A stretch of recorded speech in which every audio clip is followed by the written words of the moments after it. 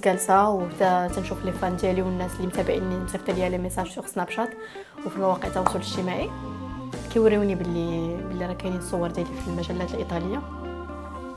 وصافي كيف ما قلت لك من مور من مور ما شفت الصور ديالي في المجلات الإيطالية اللي ما عطيتهاش اهتمام آه، لقيت لقيت عاوتاني الفيديو اللي, اللي كنهضروا عليه هو اللي دار ضجة ديال العربية اللي فيه الصور ديالي و... وانني منسوبة لواحد الشخص منسوبة إني الأخت ديالو واحد الشخص اللي اللي هو الإرهابي ديال مانشستر. لديه أخان وأخت تدعى جمانة عاشوا في لندن ثم انتقلوا إلى منطقة فيلوفيلد جنوب مانشستر حيث سكنوا هناك لمدة عشر سنوات. لكن ما يثير الشبهات وتسبب بقلق لأجهزة الاستخبارات البريطانية هي جمانة أخت سليمان حيث تظهر على موقعين مختلفين على شبكات التواصل الاجتماعي تارة بلباس ديني وحجاب وتارة تظهر بلباس دون الحجاب.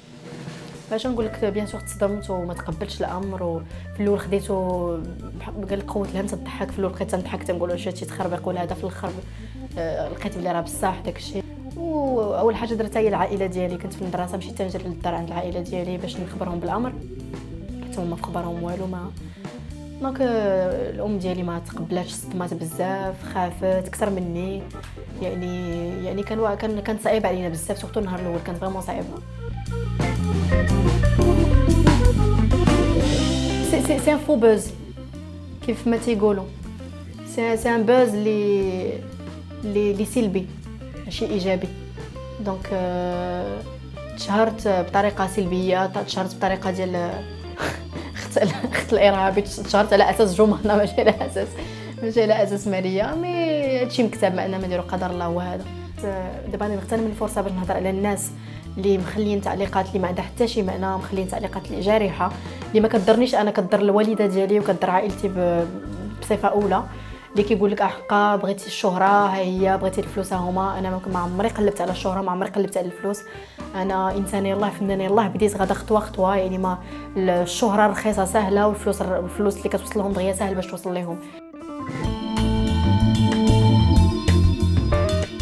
ما كنتسنى حتى شي حاجة مغرض الاعتبار ديالي والتعويض المدني ديالي والاعتذار قدام الرسمي كيف ما نشروا الخبر قدام الناس كلهم غادي نشروا الاعتذار قدام الناس كلهم مني على هذا الخطأ الفادح اللي داروا. ما كنتسنى منهم حتى شي حاجة من غير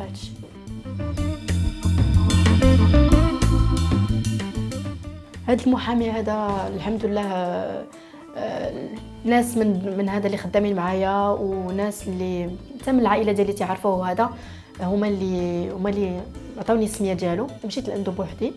وشرحت ليه الموضوع وهو تبارك الله عليه محامي يعني واصل وكيعاودوا ليه الناس مزيان. صافي هي هذيك مشيت لعندو وريتو القضية ديالي آه، قال لي غادي نتبناها.